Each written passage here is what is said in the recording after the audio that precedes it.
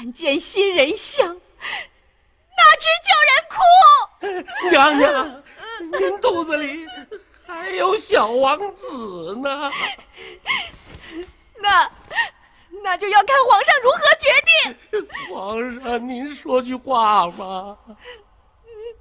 朕已经下过旨了。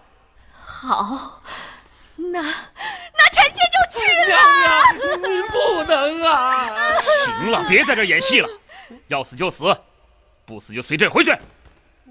哼！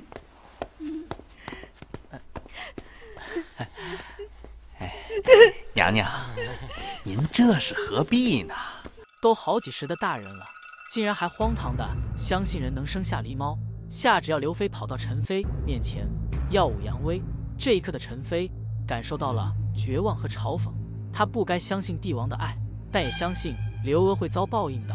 果然，殿外要求赦免陈妃的群臣已经跪了三个时辰。皇帝闻言大惊，看到这个场面也是很无奈，声称自己亲眼所见。陈妃诞下妖孽，这还能有假？寇准告诉他，有的时候眼睛也会撒谎。希望皇帝给自己三天时间，一定能破此案。可皇帝已经封建迷信了，寇准坚持要皇上答应，否则他们绝不敢回。皇帝再次大怒，他这是在威胁自己吗？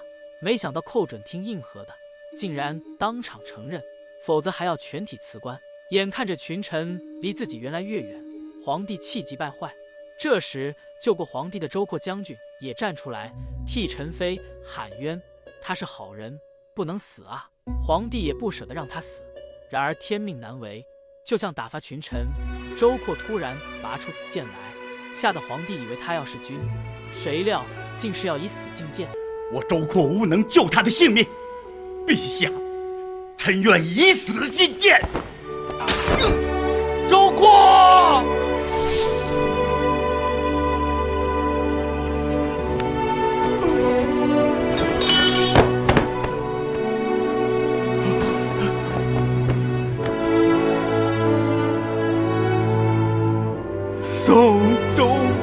将军，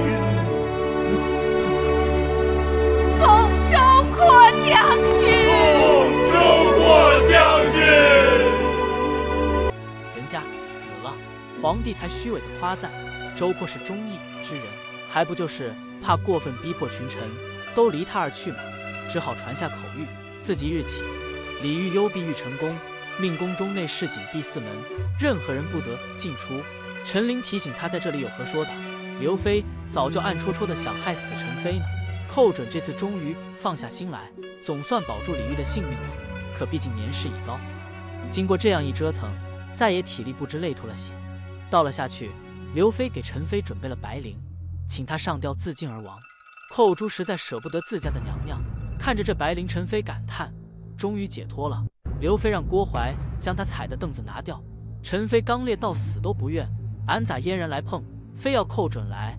不料皇上来了，刘妃顿时慌了，唯恐事情有变，立刻吩咐郭槐动手。郭槐一脚踹走凳子，寇珠立刻抱住陈妃的脚，让她死得慢一些。陈妃也在自救，只可惜刘娥怎么会放过他们主仆？情急之下，竟下毒手刺向寇珠。寇珠诅咒她这脏心烂肺的恶婆娘，死后不得超生。幸亏皇帝及时赶来。阻止了刘娥。皇帝质问刘娥：“他想干嘛？”刘娥颠倒黑白，希望皇帝诛杀他们。皇帝这一刻又清醒了些，知道这刘娥太心急，即便他好心放过李煜，李煜早就对面前的皇帝失望至极，早就对他没了爱意。上，难道你要违背天意吗？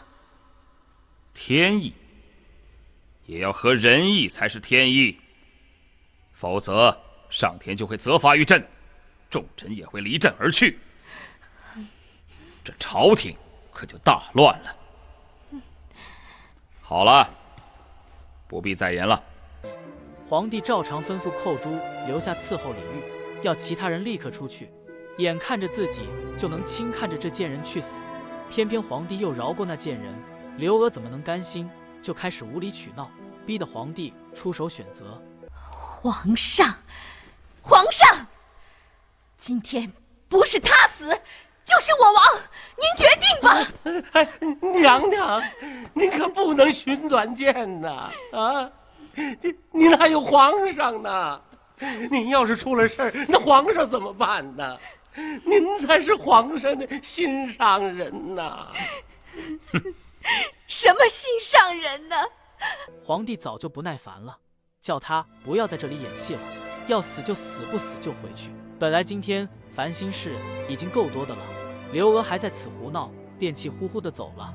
陈琳趁势落井下石，嘲笑他不要惹皇上不高兴了。刘娥气急败坏，也哭着跑开了。报应来得太爽了，陈琳把剑扔下后。临走前告知李煜，货一送到，陈琳不辱使命，事情解决了。从此皇帝沉迷于摩天筹，所谓的长生之道，吴寿也集中精力将皇上引到了修道炼丹的事情上来，企图夺其心智，建议皇帝服用丹药十年便可登仙的道。皇帝龙颜大悦，没想到他有朝一日还能得到上天眷顾。这次皇帝是倾巢而出啊，不管有多难的影子，他都要寻到。殊不知他的忠臣已经倒在病榻上昏迷不醒。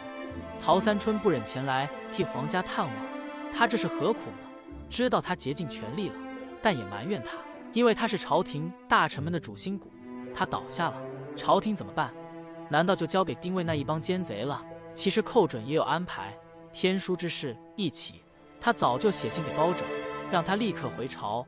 陶三春认为包拯还小，寇准却说他错了，是他们。这些人太老了，陶三春不明白什么意思。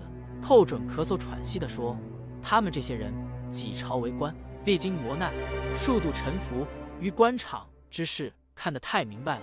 所以在历朝处事之时，总是想着怎样均衡两派势力，怎样均衡与皇帝的关系。就像手上拿着棋子，在棋盘上摆放。”一旦摆错了位置，结果就是满盘皆输啊！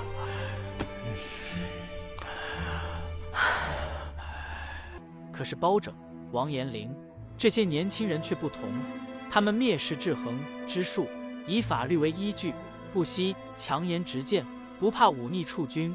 天书出现，妖人降临，宫内巨变，刘娥做大，他自己即使在居相位。也已无能左右局势，因此正是他退避之时，也正需要包拯这样的人来收拾局面的。